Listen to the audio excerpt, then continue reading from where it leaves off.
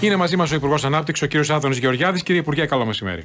Καλό μεσημέρι, κύριε Σταβελάκη. Ευχαριστώ πολύ την πρόσκληση. Εμείς σα ευχαριστούμε. Το ερώτημα είναι αν αυτό το μοντέλο με το καλάθι της νοικοκυράς πιστεύετε ότι θα λειτουργήσει και θα βοηθήσει; Καταρχήν, πότε θα αρχίσει αυτό, τι σας είπαν οι παράγοντες της αγοράς Εντός του Οκτωβρίου. Σήμερα που μιλάμε ήδη, ναι, ναι. έχει ξεκινήσει η τεχνική συζήτηση μεταξύ του ΙΕΛΚΑ και, του, και της Γενικής Γραμματείας Καταναλωτού για να ορίσουμε από κοινού τις 50 ε, αυτές κατηγορίες. Θα είναι 50 κατηγορίες ή 50 προϊόντα από 20 Όχι, κατηγορίες Εμείς θα ορίσουμε 50 κατηγορίες ναι. και μετά το κάθε σούπερ μάρκετ το καλάδι θα επιλέξει ποιο προϊόν θέλει να βάλει μέσα σε αυτή, μέσα αυτή την κατηγορία. Όταν λέτε προϊόν, για παράδειγμα μακαρόνια, θα βάλει μία συγκεκριμένη φίρμα, έρχεται το τάδε σούπερ μάρκετ το μεγάλο και λέει εγώ στα μακαρόνια βάζω αυτή τη φίρμα ή όλα τα μακαρόνια; Δεν θα βάλει όλα τα μακαρόνια. Θα, θα βάλει, μία φίρμα. Όχι μία, κάποιες φίρμες. Κάποιες. Για τις οποίες δεσμεύεται τι ακριβώς; Δεσμεύεται ότι εκεί οι αυξήσεις θα είναι ή μηδενικές ή πολύ μικρές. Α, θα υπάρχουν αυξήσεις. Για πόσο διάστημα, κύριε Δεν Υπουργέ, μπορώ δηλαδή; να σας πω αν θα υπάρχουν. Αυτό θα εξαρτηθεί από το πόσο θα είναι πραγματικές αυξήσεις. Δηλαδή... Ο στόχος είναι εκεί να δοθεί μάχη να μην υπάρχουν. Θα, θα ανακοινωθεί από το κάθε σούπερ μάρκετ μία τέτοια λίστα από ό,τι καταλαβαίνω θα με αυτά τα 50. Θα από το κάθε σούπερ μάρκετ το καλάθι. Το οποίο οι τιμές που θα ανακοινωθούν. Είναι οι τιμές που θα ανακοινωθούν και θα βλέπουν οι καταναλωτές για πόσο διάστημα θα μπορούν να ισχύουν ή θα ανανεώνονται ανατακτά χρονικά διαστήματα. Όχι, όχι. Θα τα παρακολουθούμε εμείς αναβδομάδα. Mm-hmm. Ο στόχος είναι εκεί, σας είπα, να μην υπάρχουν αυξήσεις. Ή αν κάποιες μην πρέπει να υπάρξουν, είναι πάρα πολύ μικρές. Ναι, αυτό που ρωτάει η Ελισάβετ είναι αυτό αυτή η τιμή για πόσο διάστημα θα μείνει σταθερή, τρεις μήνες, έξι μήνες, ως το καλοκαίρι. Υπάρχει αυτή η συμφωνία; Αυτό πάλι από το διεθνές. Ναι ο στόχος μας είναι, να είπα εκεί, να δίνουμε τη μάχη να μην υπάρχουν αυξήσεις. Γιατί αυτό είναι Τώρα, κρίσιμο. Γιατί... πυρηνικά, οπότε τι να σας πω. Όχι, αυτό προφανώς. Αλλά λέω, μπαίνω εγώ σήμερα ως καταναλωτής ε, στην πλατφόρμα. Βλέπω ότι το τάδε σούπερ μάρκετ έχει αυτή τη λίστα. Πηγαίνω. Την επόμενη εβδομάδα πρέπει να το ξαναδώ γιατί αυτή η λίστα μπορεί μέσα σε μία εβδομάδα να έχει αλλάξει. Είναι αλλαγές τόσο, τόσο, τόσο γρήγορες και αν πρέπει να υπάρξουν θα ανακοινωθούν πολύ πριν. Άρα το καλάθι θα είναι σταθερό ως προς τα είδη και τις τιμές για ένα μίνιμουμ διάστημα που μένει να καθοριστεί. Αν θα είναι τρεις εβδομάδες, ένας μήνας, θα το δείτε αυτό ανάλογα με τις εξελίξεις. Αυτό αρκεί, Υπουργέ. Και το λέω γιατί πηγαίνοντας, εγώ πηγαίνω ίδιο στο σούπερ μάρκετ. Ε, η κάθε εβδομάδα νιώθω ότι ε, κάνουν λάθος το λογαριασμό. Και το ξέρετε κι εσείς, γιατί κι εσείς πηγαίνετε στο σούπερ μάρκετ και ακούτε. Και ακούτε και τους πολίτες. Αρκεί μόνο ένα καλάθι με 50 προϊόντα ή είναι σταγόνα στον ωκεανό; Ένα, ένα, ένα, ένα, το καλάθι με τα προϊόντα αυτά φτιάχνεται με μια λογική. Το καλάθι το λεγόμενο της νοικοκυράς, ας το πούμε έτσι. Ποια είναι η λογική; Να εξασφαλίσουμε ένα σημείο το οποίο θα μένει κατά δυνατόν έξω από την θύελα του πληθωρισμού έτσι ώστε οι συμπολίτες μας που έχουν μια πίεση στα εισοδήματά τους να είναι βέβαιοι ότι αυτά που χρειάζονται για το σπίτι θα μπορούν να τα βρουν σε τιμές που θα μπορούν να αντέξουν. Γάλα, ρύζι, μακαρόνια, κρέας, απορριπαντικά, χαρτικά. Σωστά, ναι, ναι, σωστά, όλα αυτά. Φρούτα κτλ. Δηλαδή θα, έχει, θα εξασφαλίσουμε ένα σημείο στο οποίο θα υπάρχει ας το πούμε ένα λιμάνι μπροστά στη θύελα του πληθωρισμού. Κύριε Υπουργέ, από η την... θύελα του πληθωρισμού είναι εισαγόμενη. Δεν μπορεί να αποφευθεί διότι η οικονομία μας είναι συνδεόμενες και εξαρτώμαστε σε απόλυτο βαθμό από την εισαγωγή τη ενέργεια, την εισαγωγή των πρώτων υλών, την εισαγωγή των αγαθών. Ναι, τι ζούμε στο πετσί μα. Όμω, δεσμεύονται από την πλευρά του οι, οι ιδιοκτήτε σούπερ μάρκετ ότι σε αυτά τα 50 βασικά προϊόντα που θα είναι μέσα στο καλάθι, ε, ότι ε, θα τηρήσουν ε, κάποιου όρου κέρδου που να μην ξεπερνάει κάποιο όριο. Δηλαδή, ε, αυτά τα 50 προϊόντα. Το όριο του κέρδου δεν αλλάζει το πλαφόν του κέρδους υπάρχει ούτως ή άλλως και η έλεγχη συνεχίζεται κανονικά σούπερ μάρκετ όπως ήταν μέχρι χθες. Απλώς δεν, θα κάνουν αυξήσει αυτά τα προϊόντα. Δεν, είπα ποτέ ότι φεύγει το πλαφόν του κέρδους. Ναι. Ε, άλλο το ένα, άλλο το άλλο. Το πλαφόν του κέρδους υπάρχει για να φερνάρει στο μέσο του εφικτού, στο μέτρο του εφικτού, γενικά τον πληθωρισμό και τα προϊόντα της ευρείας mm. κατανάλωσης ασχέτω καλατιού, δηλαδή για όλους τους καταναλωτές, μέσα σε αυτό το περιβάλλον όμως του πλαφών και της, της γενικής ας πούμε έτσι αντάρας φτιάχνουμε και ένα συγκεκριμένο σημείο το οποίο προσπαθούμε να εξαιρέσουμε τελείως από αυτή τη θύελα. Σαφές για το καλάθι. Εκτός καλαθιού τώρα, τους ρωτήσατε, ξέρω. Εκτός Τι, σα καλαθιού τι σας υπάρχει το είπαν; πλαφόν, Τι αλλά σας οι είπαν; αυξήσεις οι οποίες θα επακολουθήσουν θα είναι σίγουρα σημαντικές. Σημαντικές, Διότι ε. οι αυξήσεις που έρχονται από τη βιομηχανία, την οποία θα δούμε την άλλη εβδομάδα, είναι σημαντικές. Μα εγώ είδα το δείκτη τιμών παραγωγού του Όταν Αυγούστου. εγώ μου ανεβάζει η βιομηχανία 20% του προϊόντος, τι να κάνω 38. εγώ; Τρι- Ο δείκτη τιμών παραγωγού του Αυγούστου ήταν 38,9 Υπουργέ. Που είναι Άλλο και δείκτη προάγγελο παραγωγού, είναι, αυξήσεων. είναι άλλο πράγμα ο δείκτη παραγωγού. Ναι. Είναι άλλο πράγμα. Υπάρχουν δείκτης προϊόντα που βιομηχανίας. επηρεάζονται τελείως συγκυριακά από συγκυριακές αυξήσεις. Ναι. Α πούμε το γάλα, αυτή τη στιγμή έχει μεγάλη αύξηση. Η αύξηση του γάλα οφείλεται κυρίως στην Σα έλλειψη έδωσαν μία τάξη μεγέθους. Τι θα ακολουθήσει τις επόμενες εβδομάδες; Σας είπαν ότι έρχονται κατά μέσον όρο αυξήσεις 10, 15, 20. Ναι, ναι, υπάρχει μια αύξηση Πόσο; πάλι διψήφια του 10%. Διψήφια, Δέκα. καινούρια. Ε, εσείς θεωρείτε ότι οι αυξήσεις που έχουν γίνει μέχρι στιγμής και αυτές που αναμένονται να γίνουν τον, ε, το επόμενο διάστημα, τις επόμενες εβδομάδες, είναι σε λογικό πλαίσιο, Πρώτα απ' όλα, δικαιολογούνται εγώ ή, δεν- ή ε, εγώ- βλέπετε... Εγώ, εγώ δεν θεωρώ. Ε, Γιατί από ο τους Υπουργός- ελέγχους ο που Υπουργός κάνετε. Δεν μπορεί να θεωρεί.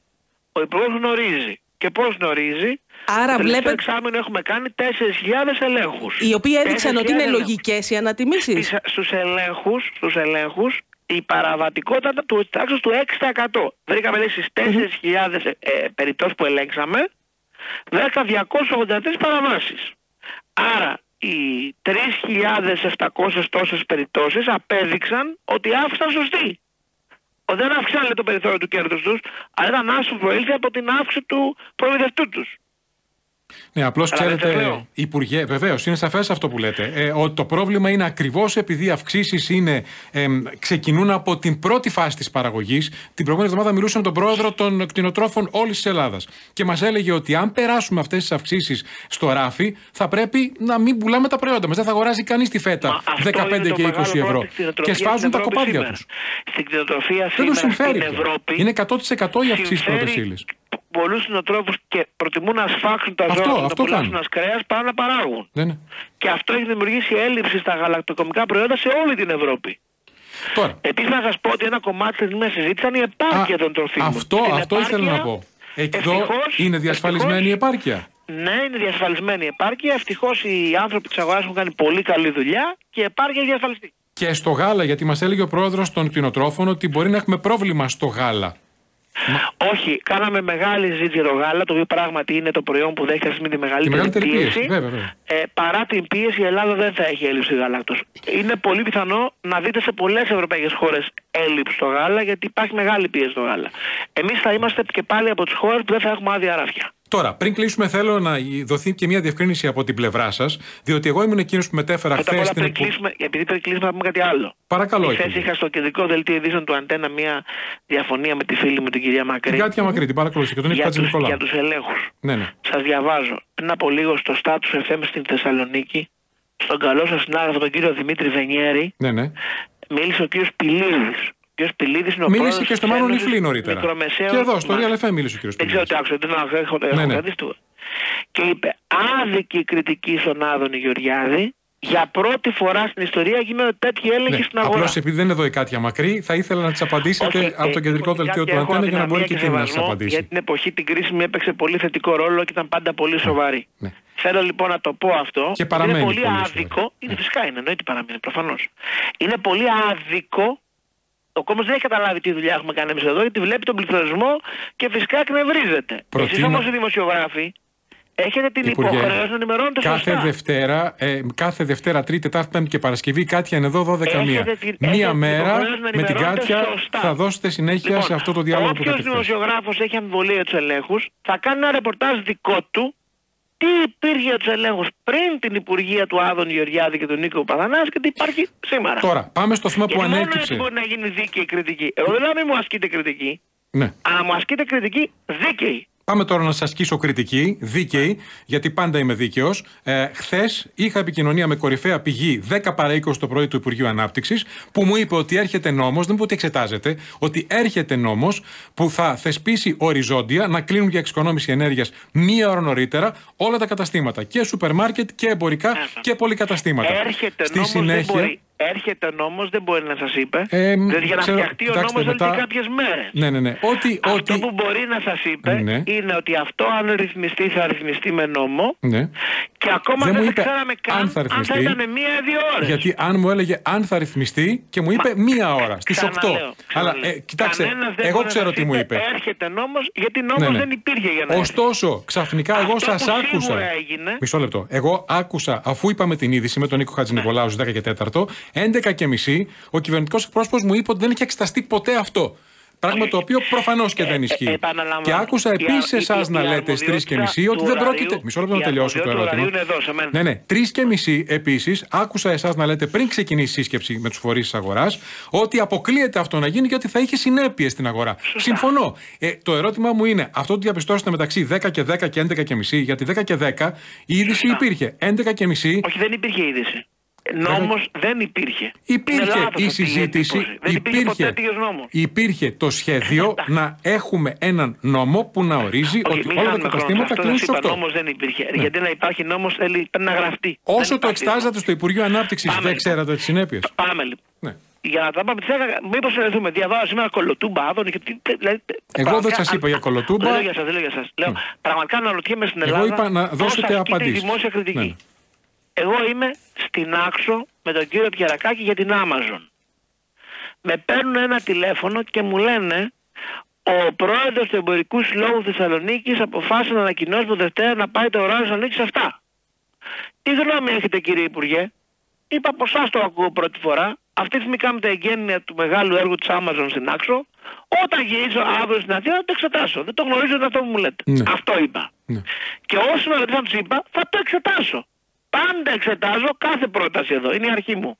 Και δεν απαξιώνεται κανένα μελτή και κανένα πρόεδρο. Διότι όταν κάποιος παίρνει μια απόφαση, κάποιο λόγο έχει. Δεν είναι ποτέ για τα σκουπίδια. Ναι, εγώ άλλο σας ρώτησα. Άρα λοιπόν, με τη σειρά. Εγώ γύρισα από την Άξο χθες, γιατί καθένα αεροπλάνο, στις 12 και μισή. Ναι. Στο ενδιάμεσο, επειδή και μία ώρα καθυστέρησε το αεροπλάνο, ο ίδιος μίλησα με όλη την αγορά. Μίλησα με τα σούπερ μάρκετ, μίλησα με τα μεγάλα μολ, μίλησα με άλλους προέδρους εμπορικών συλλόγων στην Ελλάδα.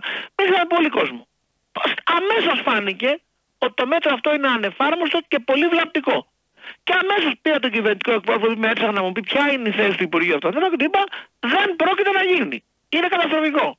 Άρα 10 παρά 20 εξέτασε το Υπουργείο Ανάπτυξης και 11 και 20 κατάλαβε ότι θα έχει καταστροφικές συνέπειες στην αγορά. Όταν ασχοληθώ ο ίδιος, αφού έληξα τις Σε αυτή την ενδιάμεση ώρα, 10 με 11. Πήρα την απόφαση. Μάλιστα. Τέρμα. Δεν χρειάζεται να διαβουλευτώ με άλλους. Είναι αποκλειστική μου αρμοδιότητα. Πήρα εγώ την απόφαση. Άρα, Αν δε- είχε γραφτεί νόμος θα τον ήξερα εγώ. Δεν είχε γραφτεί. Αν αποφάσισε και κάποιο άλλος δεν μπορεί γιατί Άρα, δεν 10 μα- παρά 10 Βεβαίως, μας λέτε λοιπόν. εσείς εξετάζατε νόμο. Στις 10 Μετά ακόμα κάνατε ήμουνα κύκλο με την επαφών. Amazon, Ναι. Στις 11.30 είχε τελειώσει ο κύκλος αγοράς και είχαν ενημερώσει και ο κόσμο ότι δεν μπορεί να γίνει. Άρα μας Τόσο λέτε απλά. ότι δεν υπήρξε, γιατί γράφτηκε και αυτό, ότι σα άδειασαν από το Μαξίμου, ότι υπήρξε άνωθεν παρέμβαση στο οικονομικό Αυτά επιτελείο, από την πρώτη μέρα οι φορείς της τη θητείας αγοράς, μου έχω έπεσαν βαρεθεί να τα τηλέφωνα ακούω. ισχυρών που λένε μην το κάνετε αυτό, θα κάνουμε Έχω απολύσεις. βαρεθεί να τα ακούω από την πρώτη μέρα που είμαι εδώ. Θα στεναχωρήσω τους φίλους μου. Έχουν προβλέψει από την πρώτη μέρα που έγινα αντιπρόεδρος, όταν φύγω από την αντιπρόεδρος, εδώ είμαι 6 χρόνια.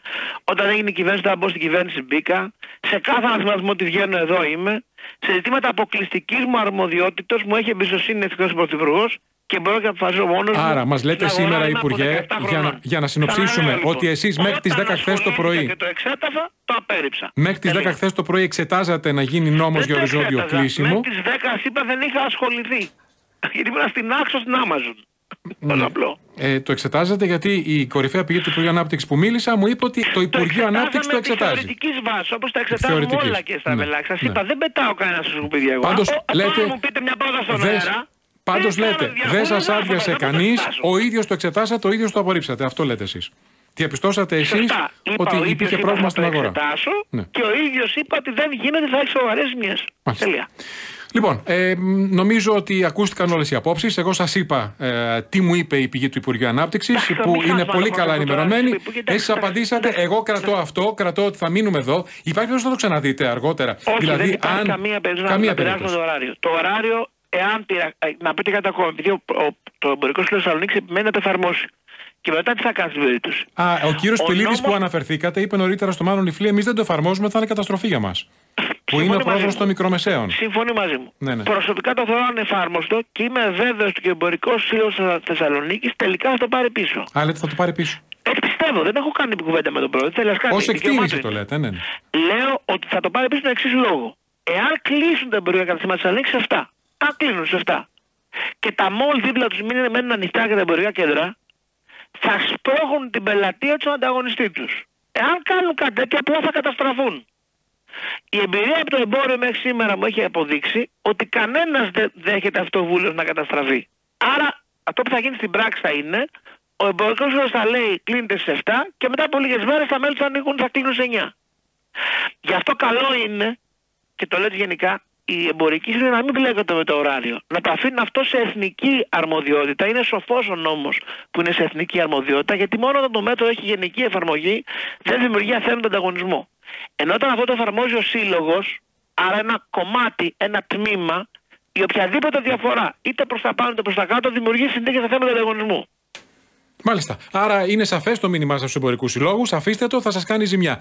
Ευχαριστώ πολύ, κύριε Υπουργέ. εγώ, Ο Άδωνης εγώ. Γεωργιάδης, Υπουργός Ανάπτυξης Ζωντανά στο Real FM.